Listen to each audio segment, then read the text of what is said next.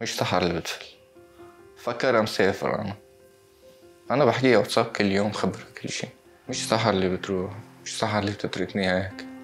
ألكسندرا بنت آه، كتير آه، فرحة. يعني كانت توعى مبسوطة وتنام مبسوطة. في سكارز بس اللي برا بينقشع. وفيك تخبري قصته بس اللي جوا ما بينقشع. اللحظة مخيفة يعني مرعبة جدا.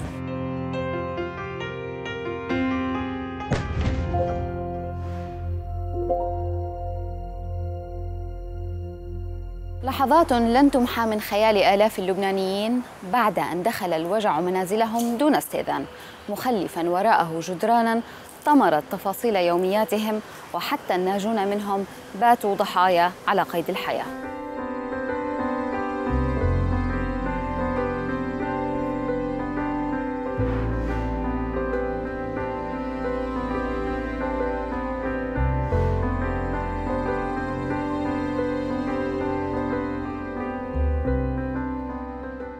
وصلت على ال port بعثت لي الفيديو اللي انتشر. العنبر هو عم يحترق هذا سحر هو هي مصورته وبعثت لي إياه. هون دقيت لها أنا video call. قلت لها اف وين هيدا؟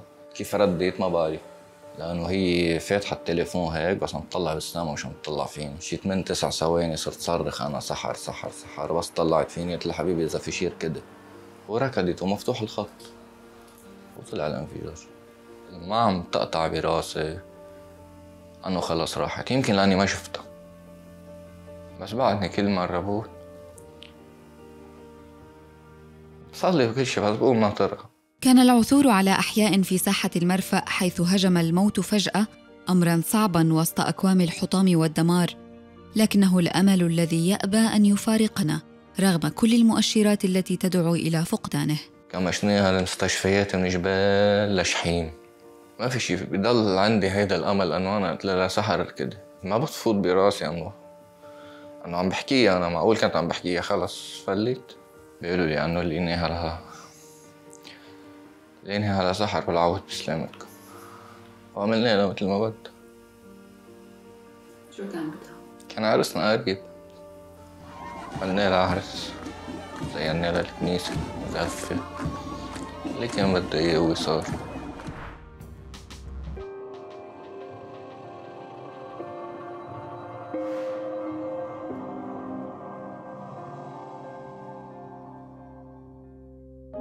عايشين بالجميزة بنص الجميزة بوجه البور نزلنا على الطرقات ما في حدا. كنا عم نركض وعم نمشي لحالنا. أخذت معنا ساعة ساعة ونص تنوصل على المستشفيات البعاد من بيوتنا خمس دقايق. ولد مثل بنتي عمره ثلاث سنين ونص ما بيقدر يتحمل جسمه هال هالشيء ما قدر يتحمل يعني فيسي غطتها وحمتها بجسمها. بس ما بنعرف إذا ضربة بحيط على راسها أو إذا من قوة الانفجار ببيتك بتحسي إنه هو محل البركة الوحيد بالعالم اللي بتحسي فيه بتحسي حالك فيه بأمان؟ حدا بيكون حاسس حاله عم بيحمي حاله وحامي عائلته بس قتلونا ببيتنا.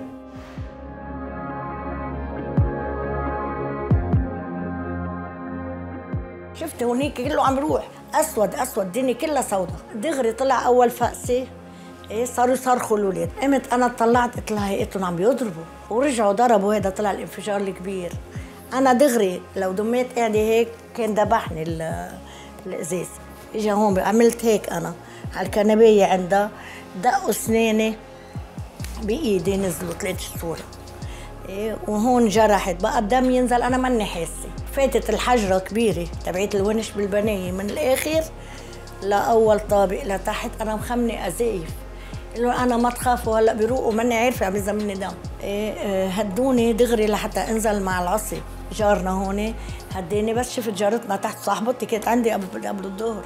إيه صفقها على على الحيط وقتلها ماتت. إيه بس شفت دمها وهيك اللي ما بقطع من فوق دمها صرت أبكي وصرخ.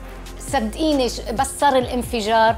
ما عدنا نعرف هذا الشارع إذا مسلم أو مسيحي أو كردي أو تتري يا مصطفى يا جورج يا حنا يا الياس يا علي يا كذا. كل العالم صاروا إيد وحدة والتموا على بعضهم تيشوفوا شو بدهم يعملوا.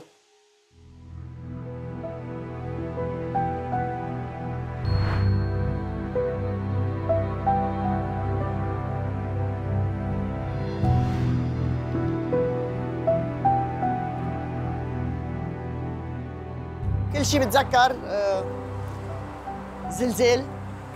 ما كان يخلص الزلزال.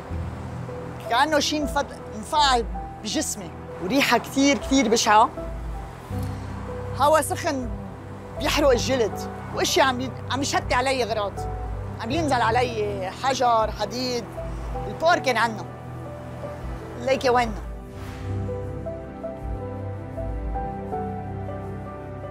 وجع الانفجار.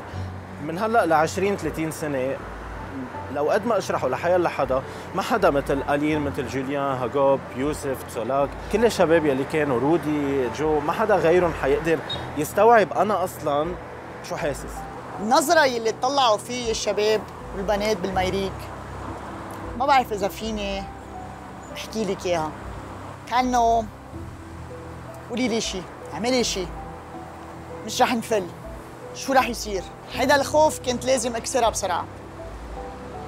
والشغلة الوحيدة اللي بعرف أعملها هو أرجع أعمر وأرجع أشتغل.